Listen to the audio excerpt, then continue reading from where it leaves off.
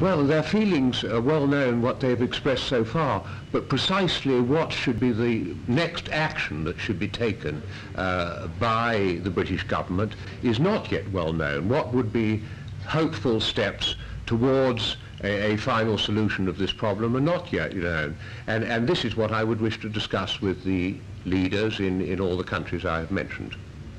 I, as I say, I, I, am not going to go into the substance of the discussion because I think this is a moment when discreet dip dis diplomacy, when private talks, are likely to yield better results than making uh, public statements or entering into arguments about the present situation.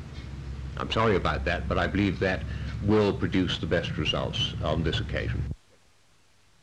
I want to make it absolutely clear that the whole purpose of my visit is to find out what is in the minds of particularly the frontline presidents and others about the present situation and what might be hopeful action uh, to be taken in the future. And this means that no decision has yet been taken by the British government as to what they're going to do next.